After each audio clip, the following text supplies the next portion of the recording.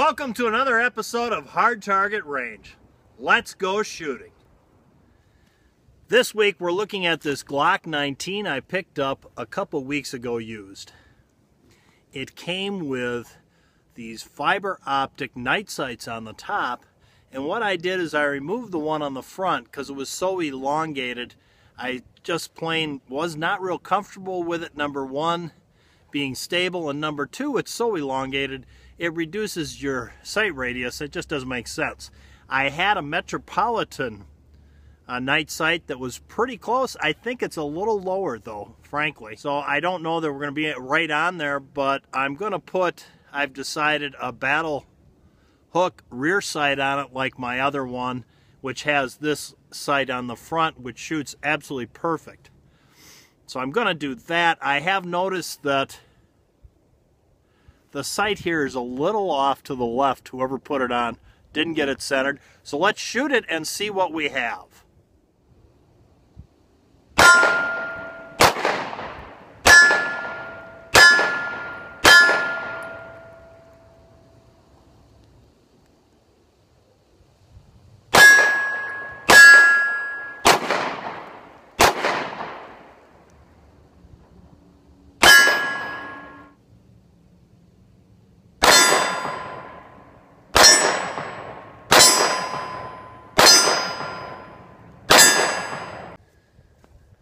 Well, there you go, guys. You can see I had to shoot a little low and a little to my right to compensate for the sights. The front sight isn't quite right height.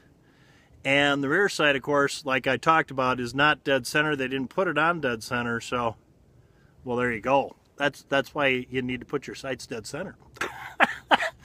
so it's shooting a little off. I had no problem on that last string shooting low and to the right and yeah, there you go. So as soon as I get the opportunity, I'm going to give myself a battle hook sight for the rear, take this one off and put it on.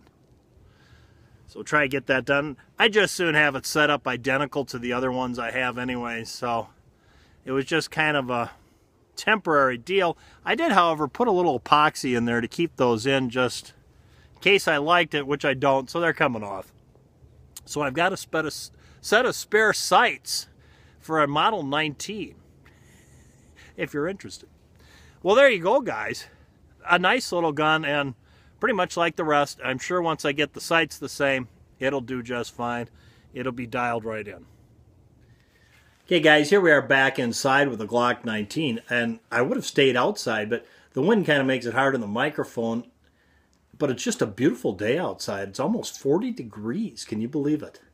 It actually is kind of making the shooting range a little bit of a mess because the ground's frozen except for the top inch is, is thawed and slippery. so I, I want to talk about this, this gun. You know, I picked this up a couple weeks ago when I did that video of the, about a month ago, I think, maybe more. And it was used, but really hardly even used at all. The fellow got it and put these sights on and gave it to his wife and and it didn't go over big. It wasn't a, was on a great anniversary present, I guess. so I came back to the shop and he traded it for something he wanted.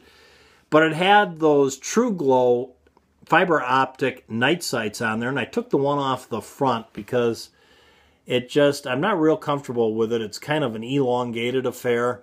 You lose your sight radius and it's, yeah, you know, if you knock it, it there's not a lot of it puts a it's got a lot of leverage on how it's attached because it's not attached except for screwed in up here. So you got a lot of leverage there if you hit it. Not not something I really liked, so I decided well I had one of these Metropolitan uh, tritium night sights in the drawer and just sitting there going bad. I put I put that on, took the other sight off, and this one was a little bit lower, I think it's shooting a little high now, and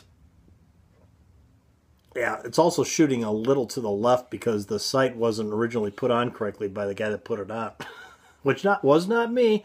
It's not dead center on the slide, and you know the front sight is, so why, why shouldn't the rear sight be? Says I. Pretty much, if you put them on dead center, they work right. So I think this is going to, and I'm going to put. I don't think I know probably after Christmas, if, if I've got some extra funds, I will buy myself a battle hook sight for the rear. Yeah, I will. Then it'll match the other guns I have because that's that's how the other guns are set up with this Metropolitan night sight in the front and a battle hook sight in the rear. And might as well have, if it's a backup, it should be the identical thing to the other gun. So that's what I'm going to do. So I'll be taking this off and doing that. But other than that, shot fine. As soon as I figured out where I was shooting, I had no problem. But I should have gone to the soft target range and shot it first on paper to see where it was shooting because it was a new gun for me. I'd never shot it before, and I didn't even think about it that way because yeah, I got so many other Glock 19s. I didn't even dawn on me that this is a new gun. I should go over to that's what I always do. I go to the paper range and put the target up and shoot it up close and personal and then walk it back and see how the sights are and where they're hitting. So, and I didn't do that here, and I should have. Well, there you go, guys. Before I leave you, let me just thank you for watching my show, The Hard Target Range.